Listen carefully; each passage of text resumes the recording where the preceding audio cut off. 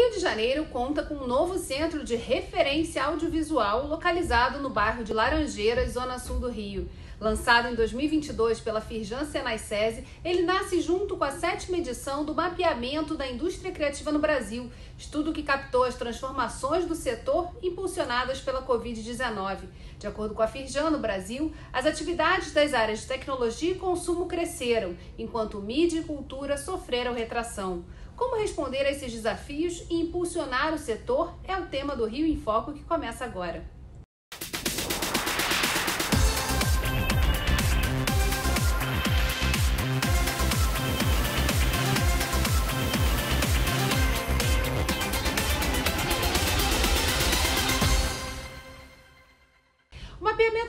Indústria Criativa no Brasil 2022 é uma publicação que, além de reunir as principais informações do setor, também apresenta tendências de mercado, estratégias de desenvolvimento, evoluções ao longo dos anos e as perspectivas de futuro. Para falar sobre esse estudo, está aqui comigo Leonardo Ed, vice-presidente da Firjan e presidente do Sindicato da Indústria Audiovisual. Oi, Leonardo. Olá, tudo bem? De novo, prazer estar aqui de novo com vocês e também a gerente de ambientes de inovação da Firjan, Júlia Zardo. Oi, Júlia. Ah, boa tarde. Leonardo, fala para a gente um pouquinho do panorama do setor audiovisual, que é, faz parte, né, é, é, uma, é uma linha desse mapeamento da indústria criativa.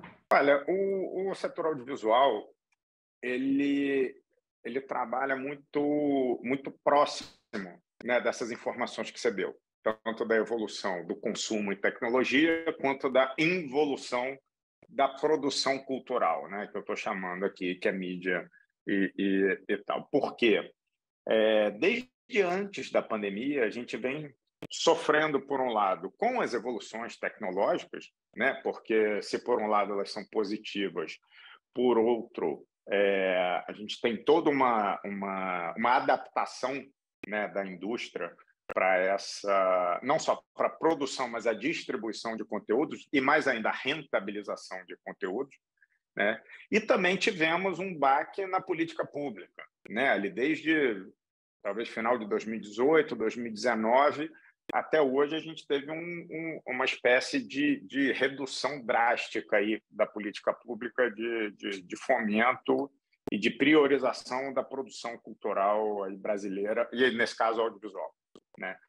E o que aconteceu ao longo desses anos foi que, além de ter portas fechadas, por exemplo, de cinema, né, não poder ir para a rua produzir, né, a gente ficou sem produzir esses dois anos da pandemia. Na verdade, o audiovisual, assim como artes cênicas, né, eu acho que foram talvez os piores segmentos aí da, da é, porque a gente realmente teve portas fechadas e não conseguiu produzir. Ah, só que, por outro lado, a gente experimentou um, um aumento é, é, incrível, né, importante do consumo e da tecnologia que precisou estar agregada e se desenvolver para que esse consumo acontecesse. Né? É a chegada muito mais rápida dos streams, né? uma evolução talvez de 10 anos em dois, é, a, a, o acesso da maioria das pessoas, assim como é, compraram produtos no e-commerce, né? o nosso e-commerce é também o, o, aluguel e compra de filmes, séries e tudo mais, né? não só em Netflix, em Amazon, em Disney e tal, mas também no consumo do YouTube, de Spotify, enfim, por aí vai. Então, é, é, houve esse crescimento acelerado.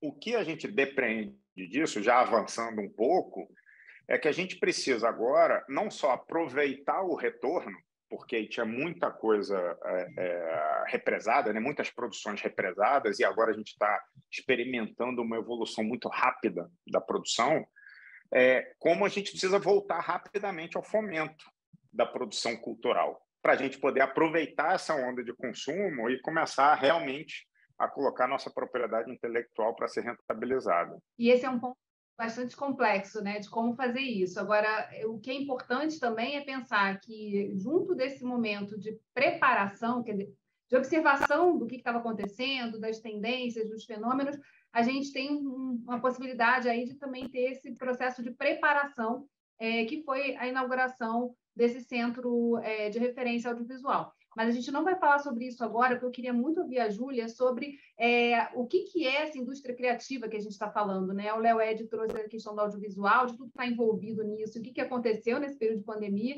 Eu queria que você falasse um pouquinho dessa perspectiva é, do que, que é a indústria criativa que a Firjan mapeia já há muitos anos, e essa sétima edição aí procurou dar esse, esse ponto, né, do que, que a pandemia impactou já para que a gente possa ter reações a, essas, a essa observação.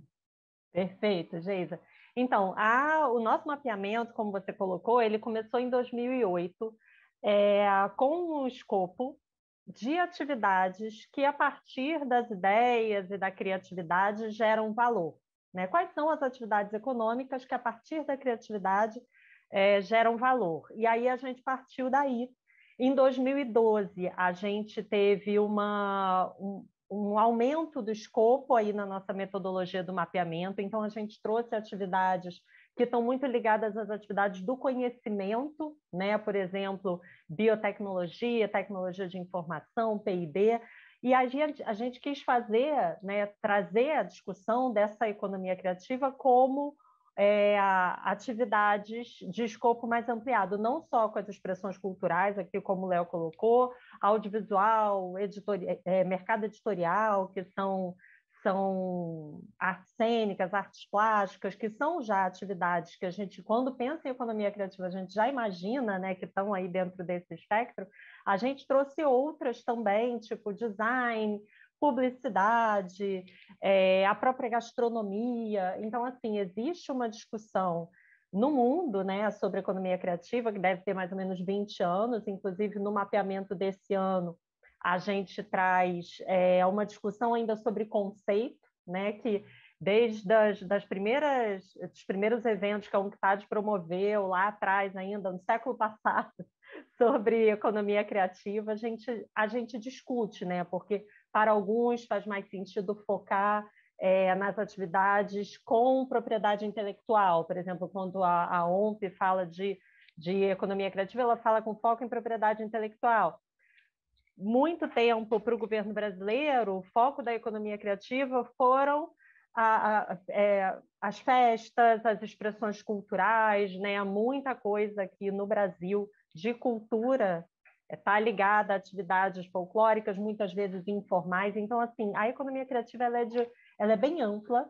E aí a gente, dentro do mapeamento, traz quatro grandes áreas, né, para um pouco segmentar e entender como é que essas áreas que têm mais afinidade funcionam. Então, hoje, no mapeamento, ele é dividido em tecnologia, e aí tem as atividades de, de TIC, né, tecnologia de informação e comunicação, pesquisa e desenvolvimento e biotecnologia, as, as atividades de consumo, a área de consumo, e aí dentro design, publicidade, moda, as atividades de é, mídia, que são editorial e audiovisual, e a cultura, né? como a gente chama, e aí dentro tem as artes cênicas, tem a música, é, a, tem, por exemplo, as expressões culturais, a gastronomia, enfim. A gente organizou dessa forma a economia criativa, sabendo que, como o Léo colocou, é, a gente teve, por exemplo, desde 2017, uma trajetória bem diversa, né, bem heterogênea aí dessas áreas. Então, enquanto tecnologia e consumo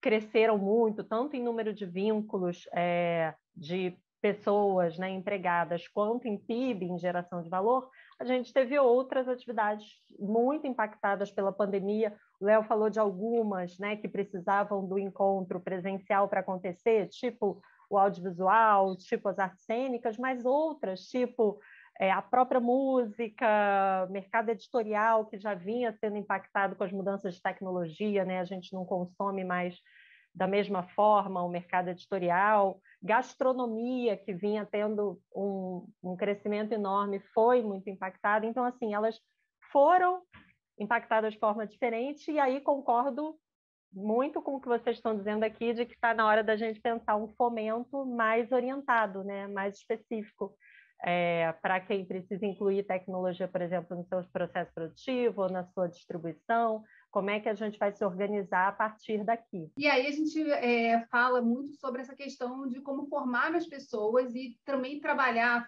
é, as pessoas que já estão dentro desse mercado e que precisam também se atualizar nessas nesse manancial de novas tecnologias que surgiram, nas novas formas de ganhar dinheiro, né? Porque a gente viu muita gente também experimentar nas redes sociais, criar seus próprios canais, ser a sua própria mídia, enfim. Isso tudo são, são tendências importantes aí de serem consideradas, né? Para um processo que a gente vai já abrindo aí é, para o segundo bloco falar, que é de formação, né? Como é que a gente trabalha com essas informações para formar pessoas novas e também atualizar quem já está no mercado. Léo, você pode falar um pouquinho sobre isso?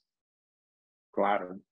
É, bom, com essa tendência, né, com esse aumento de consumo que a gente está vendo em, em, no o mapeamento deixa muito claro, né, é, e aumento da necessidade do desenvolvimento tecnológico e aí aumento, obviamente, da necessidade de produção, né, porque esse consumo, se por um lado tem a facilidade de acesso, a facilidade de distribuição, também é muito mais efêmero do que era antes.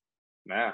Hoje, você vê as plataformas digitais, seja elas de música, audiovisual, é, é, de, de, consumo, né? elas precisam de muito mais conteúdo. Né? Você não, não tem mais um filme que fica numa sala de cinema, vamos, falar agora do, do, físico também, né? Nem na sala de cinema você tem um filme mais que fica dois, três meses em cartaz. Os filmes entram saem, entram saem. A gente está com uma sociedade que tem uma, um déficit de atenção muito grande, né? Porque tem muita informação, tem muito acesso, tem, tem muito conteúdo sendo, sendo produzido. Então, é, a gente precisa, como você bem falou, é, não só ter uma formação muito mais qualificada, consciente e direcionada dos novos profissionais, vamos dizer assim, mas também uma, uma renovação de quem já está aí no mercado, né? de todas as gerações, né? não só de quem é mais antigo, como eu, no mercado, mas de mesmo gerações mais recentes precisam ir se renovando o tempo inteiro com, essa, com esse desenvolvimento tecnológico tão exponencial como a gente experimenta.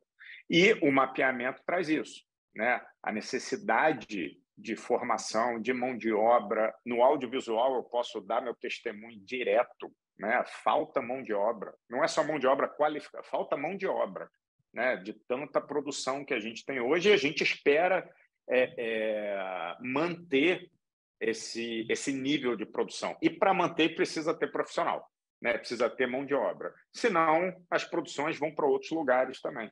E a inauguração do centro de referência, ela vem de encontro a isso. É, é, hoje, o centro de referência Senai, SESI de Laranjeiras, ele é vocacionado, ele é exclusivo para o audiovisual. É o único centro é, é de referência no Brasil, diria eu, no mundo, é, específico para o audiovisual. E, e, e, tem uma coisa muito interessante que eu acho que muda o mundo de verdade, que é o ensino médio com ensino técnico junto. Né? Então, tem é, é, o centro de referência, dois terços dos alunos são gratuidades, né? o que é muito importante também, e, e existe um ensino, um ensino médio acoplado ao ensino técnico, ou seja, o jovem já sai de lá já com uma profissão, já sai de lá pronto para o mercado de trabalho que ele escolhe entre uma questão de computação gráfica, animação e tal, ou produção de áudio e vídeo. Então, essa questão do ensino técnico ela é muito importante para essa velocidade também de formação da mão de obra. A gente vai continuar falando sobre isso no próximo bloco. Não saia daí. Rio em Foco aqui, política e economia caminham juntas.